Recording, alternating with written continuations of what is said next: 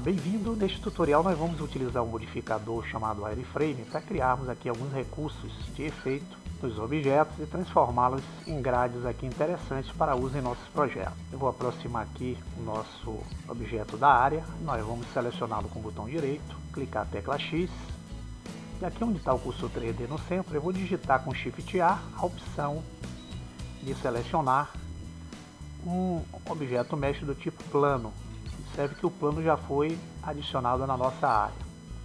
Nós vamos só mudar nossa visão aqui, já que estamos utilizando a perspectiva de usuário, clicando em View, que é visualizar, e clicando na opção Top. Com isso a gente vai ver o objeto por cima.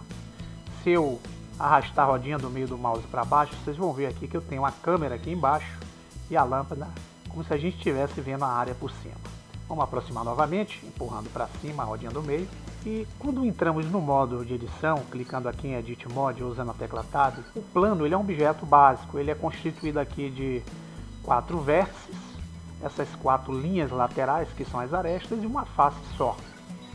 Para nós fazermos aqui um efeito de grade, nós vamos alguns recursos bem simples aqui do Blender. O primeiro vai ser o recurso da ferramenta Subdividir, que fica aqui na lateral esquerda. Nós temos aqui a estante de ferramentas do modo de edição e nós vamos clicar na guia Tools. Na guia Tools nós temos a ferramenta chamada Subdivide, que significa subdividir. Clicando nela com o botão esquerdo, vocês vão ver que eu crio uma linha na vertical e outra na horizontal e eu divido a malha do objeto. Enquanto eu não mexer nesse objeto, as propriedades deles aparecerão aqui embaixo para eu fazer algumas transformações que eu acho interessante. Entre essas transformações, eu vou clicar aqui nessa caixa chamada Number of Cuts, que é o número de cortes, com o botão esquerdo, e vou digitar o valor 10 e dar o Enter. Com isso eu subdivido essa malha em uma diversidade de arestas, vértices e faces, e nós vamos agora utilizar um recurso, já que temos aqui o plano selecionado, clicando o Alt P. Com Alt P, a gente consegue fazer esse efeito aqui de entrelaçamento em cada face constituída aqui junto ao plano. E vamos ter algumas linhas entrelaçadas. Isso se chama atiçar faces. Alt P vai permitir a gente utilizar esse recurso. E nós vamos então aproveitar, clicar a tecla A para desativar a seleção e vamos ativar a nossa ferramenta de seleção circular com a letra C. Observe que surge um círculo junto ao cursor em forma de cruz aqui no modo de edição. Esse diâmetro que vocês estão vendo aí desse círculo representa a área de seleção que nós podemos usar junto à ferramenta circular.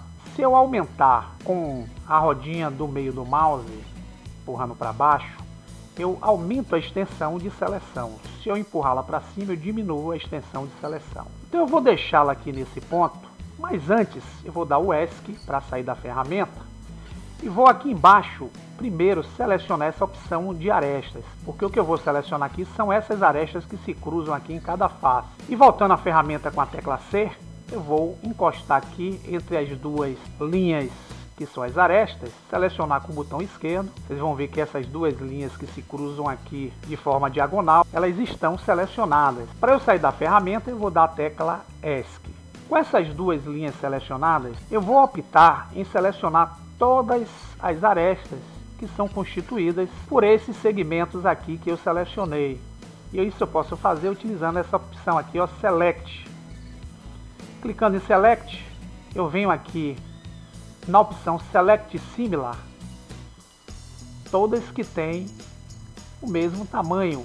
Vou clicar, observe que ela selecionou todas as arestas idênticas. E usando um outro recurso, eu vou inverter a seleção clicando a tecla Ctrl I. Fazendo isso, eu inverto em vez das arestas selecionadas, eu vou ter aquelas outras arestas que não haviam sido selecionadas anteriormente. E vou clicar a tecla X e nessa opção Delete eu vou mandar ela dissolver as edges, que são as arestas são essas arestas selecionadas. Eu vou selecionar, observe que eu tiro essas arestas da nossa malha. Eu fico só com as linhas entrelaçadas. E através desse procedimento, nós vamos voltar para o modo Object Mode. Aqui no modo Object Mode vocês não vão ver as arestas, mas nós vamos vir aqui na barra de propriedades da direita, vou segurar aqui para arrastar. Vamos buscar o ícone de modificadores, que é esse ícone em forma de uma chave inglesa. Clicando nele, eu tenho como adicionar um modificador, clicando aqui, eu vou ver que na opção Generate eu tenho a opção Wireframe, que é o modificador que vai me permitir, ó, quando eu clicar, criar a grade aqui no nosso objeto. E com essa grade produzida, eu posso vir aqui nessa opção chamada Thickness, que é o afinamento da grade, encostar o cursor ou posso clicar nessas setinhas laterais aqui, onde eu aumento valores ou diminuo valores. Se eu encostar o cursor no meio, segurar com o botão esquerdo do mouse pressionado e arrastar, eu tenho como fazer ó, alterações na forma visual de como a grade irá acontecer aí na área. Posso engrossar ou afinar as linhas da grade. Posso utilizar esse offset aqui para criar alguns detalhes mais interessantes. Se eu segurar agora o botão do meio do mouse e der um giro orbital, vocês vão ver que aquele plano se transformou nessa grade. Então é através desse recurso que vocês vão fazer alguns efeitos bem legais aí para transformar objetos planos ou superfícies planas em algumas grades interessantes para os seus projetos. Usem e abusem aí do recurso. Até o próximo tutorial.